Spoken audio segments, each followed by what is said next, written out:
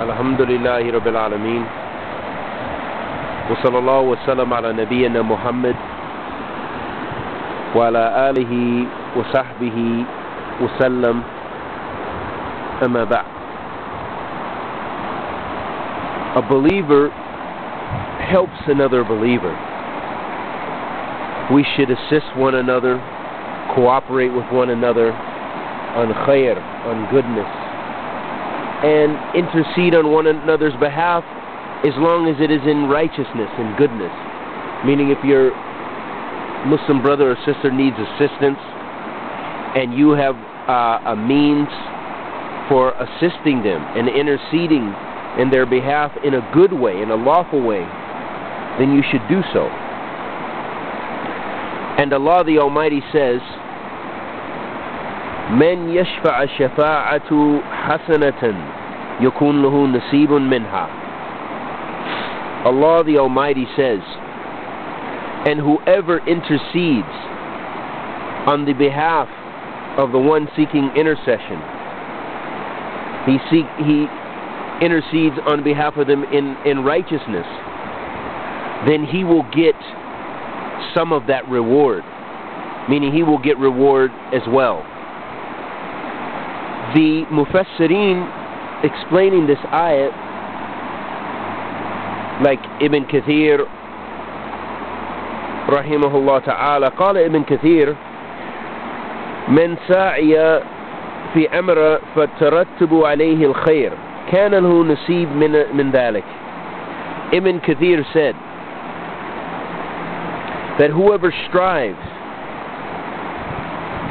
in an affair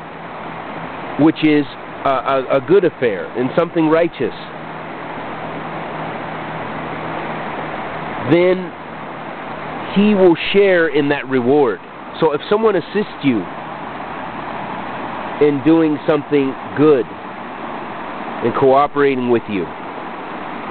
or you cooperate with them in something in righteousness,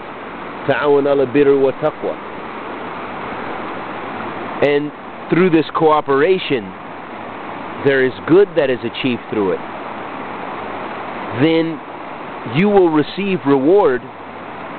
for assisting them in that righteousness. So this encourages us to cooperate and it encourages us to um, to intercede on one another's behalf in khair. For example, if you have maybe there's a dispute between a Muslim and another Muslim or a Muslim and, and someone else and, and a non-Muslim. And you assist them in good in trying to in trying to fix the problem that they have that they're facing or the dispute. You try to arbitrate in that dispute and you intercede on behalf of one of them in a righteous way, in goodness, then you'll receive reward from Allah subhanahu wa ta'ala for that. You will share in the reward for the one who also was received good and received reward from Allah subhanahu wa ta'ala for doing righteousness. قال مجاهد رحمه الله تعالى نزلت هذه الآية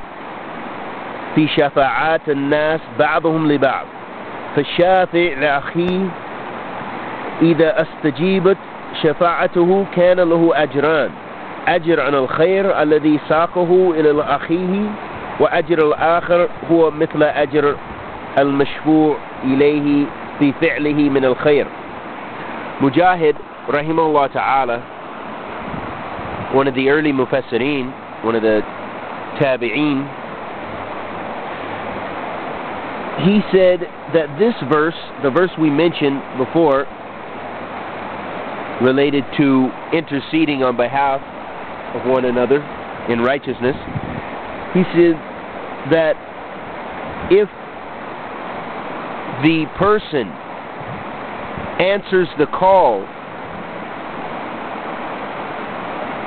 for interceding on behalf of their brother in righteousness, then of course they will receive two rewards. They'll receive the reward of the good that was the final end of that that, uh, that, that he was interceding for, and he will see, receive another reward similar to the one who was interceded for. So that there's two rewards if they are doing it in righteousness and that there is a, a reward from Allah subhanahu wa ta'ala in the end result for, for whatever they were uh, striving to achieve and cooperate on. So this shows us that you can only get khair from khair. You can only get goodness from goodness.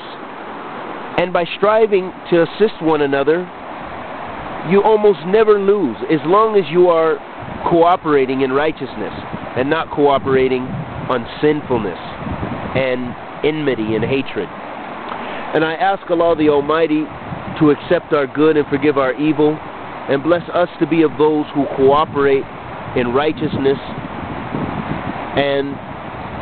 anything I said that was correct was from Allah subhanahu wa ta'ala and anything that I said that was incorrect was from myself and the shaitan وصلى الله وسلم على نبينا محمد وعلى آله وصحبه وسلم